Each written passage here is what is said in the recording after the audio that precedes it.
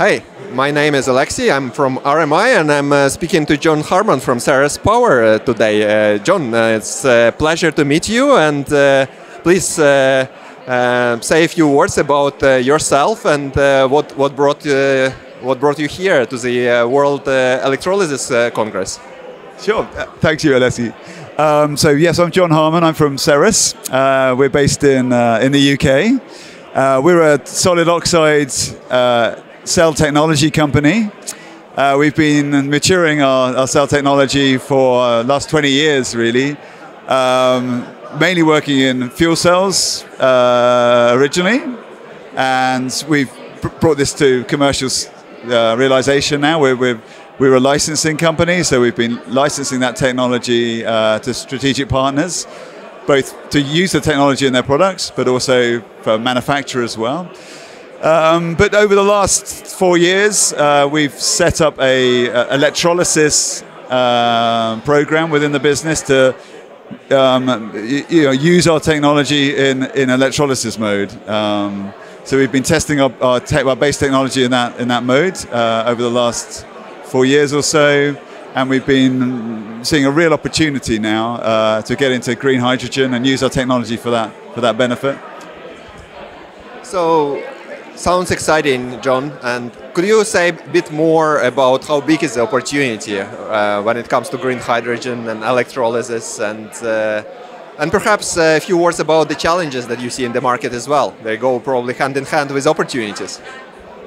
Yes, of course. Uh, so I think the, the biggest opportunity for our particular technology is uh, decarbonisation of hard to abate industrial sectors, really. So, so I think solid oxide technology fits really well with um, uh, um, production of green steel, decarbonisation of ammonia and fertilizer production, industrial chemicals. I think where you've got end users who have uh, a need for a really high efficiency conversion of hydrogen, um, but also where they have some low grade uh, heat available, um, you can get some really, really high efficiencies of, um, of conversion and, um, and low costs of, of, of hydrogen uh, in that regard. So, so I think our, our, technology fits really well in those kind of industrial sectors, uh, to be honest. I think, yeah, uh, the challenges I think we've, we've heard today really, it's the, it's the scale up. It's, there's a huge opportunity, there's a huge demand out there. Um, it's just really getting the, getting the capacity. Um, and I, I, think our licensing model works well. So I, I think that's an enabler in, in, a way because we don't have to scale our business that quickly. We can partner with some of the world's most uh, you know progressive companies who are get, getting into that space or want to pivot their business to get into electrolyzer production and um, and partner with them to scale our business really quickly. Um, but I think you know getting the rest of the supply chain together, get, getting um, power electronics companies and compression companies all aligned and together to meet the needs, the future demands is, is really where the challenges lie.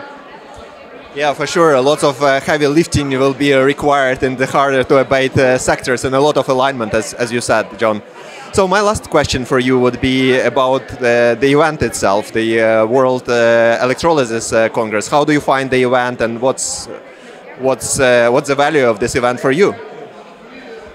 Well, um, it's just so nice to come out of my office. Actually, I mean, as I say, we've we've we've been moving into this space over the last four years, completely over the pandemic's time, right?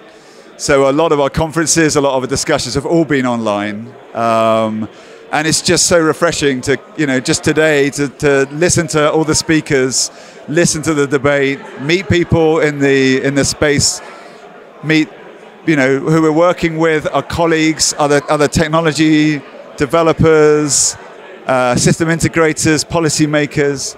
It's just really refreshing, I think. So, so yeah, just spending a couple of days just getting to know people again, reconnecting, uh, feeling what the challenges are, and, and, and, and, and, yeah, I think that's been really positive for us, and it's a pleasure to be here, actually, yeah.